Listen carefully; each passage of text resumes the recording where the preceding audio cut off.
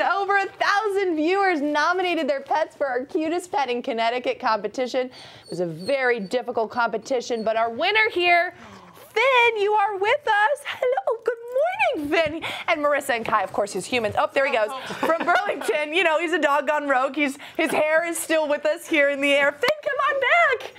The people want to see you, Finn. Tell us a little bit about this guy. Uh, he's a one and a half year old Sammy, uh, Samoyed. Um, he is, as you could tell, full of energy. He's a big, big sweetheart. He is so fluffy right here. So 40 fluffy. pounds.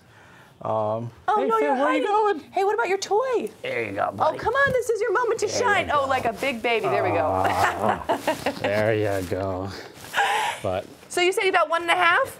He is one and a half. So still kind of a baby. A little puppy in him? he is. As you could, he has the puppy mentality right now. Aww. He wants. He's super excited. It's his first TV star. First of many, I'm sure. You're so cute, Finny. Now, how did you guys come up with the name Finn? Oh, honestly, we just kind of thought about it, and it kind of just stuck. Like, you look like a Finn to us. You look like a Finn, and I notice in all the photos that we have of him, and as you can tell right now, he always looks like he's smiling. He is. Uh, they say that uh, they call them the smiling Sammys because no matter what, they're always curled up on the lips. Almost gone. oh my gosh. And so, Marissa, what did you think when you found out that you heard that your pup was chosen? I was very excited. I was actually shocked because I totally forgot about it, to be honest. it's like in the middle of eating lunch, and I'm like, I just think I just heard my dog's, My dog's name. my dog's name on TV. I'm like, oh my god. It was very hard to, to whittle him down, but your there's- dog is quite photogenic. Yes, he is. And he's also quite uh, energetic. What are some of his favorite things to do? ah, he loves to play tug of war. That's his favorite game in the whole entire world, except right now. Except right now. But uh, I like to take him for a walk all the time, take him hiking.